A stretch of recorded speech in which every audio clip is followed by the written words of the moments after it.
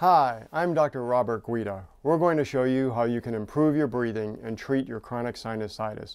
When Danny came to me, I knew we could help him. You're watching image-guided endoscopic sinus surgery, and that's what we determined could help 21-year-old Danny.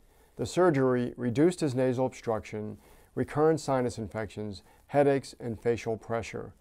Antibiotics and steroids failed to help him. Before this procedure, I conducted a physical exam and found a deviated septum in the left nasal cavity. A CT scan was used to confirm this diagnosis. The image-guided surgery allowed us to remove multiple polyps that blocked his sinuses.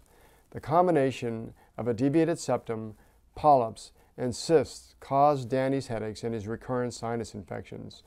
The endoscopic surgery drained his sinuses and made it possible for him to breathe normally without pain.